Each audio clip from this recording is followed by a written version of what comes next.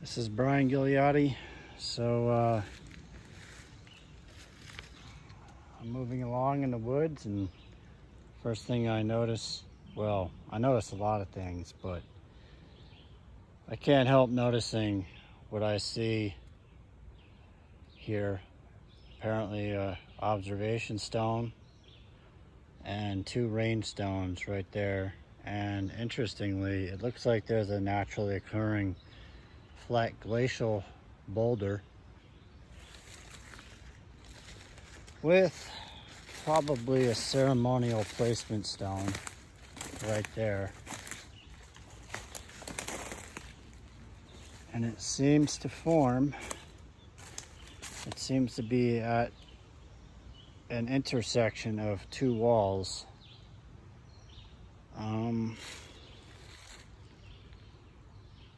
one of which ends right there. As you can see, the industrial plant is right there. It's damn fortunate that I picked now, July 3rd, when that facility will be completely shut down. So the chances of anybody seeing me would be minimal. Um, damn.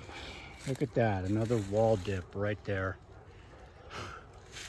Whatever it was meant to be, uh, whatever was meant to observe, if it was on that side of the wall, has since been destroyed, cleared out.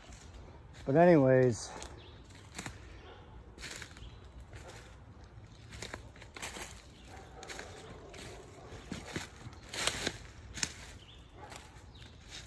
I shot an azimuth reading here and um, over the relationship between this stone and that stone is 270 degrees.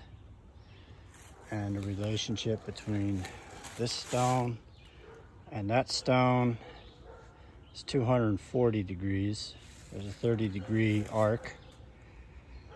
And in the middle of that arc there's that flat naturally occurring boulder right there.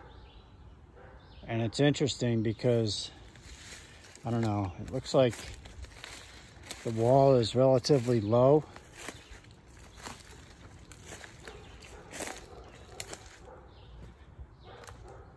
And also the wall is actually low going in that direction too. But for some reason, the wall gets built up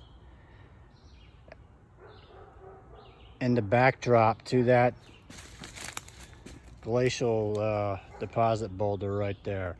So for some reason, I don't know, that wall, or at least that section of wall was built up. It could be a continuation of that wall right there. Uh, I've noticed some, uh, I'll just call them calendrical viewing dips in the wall. So might have stumbled upon a, another calendar system.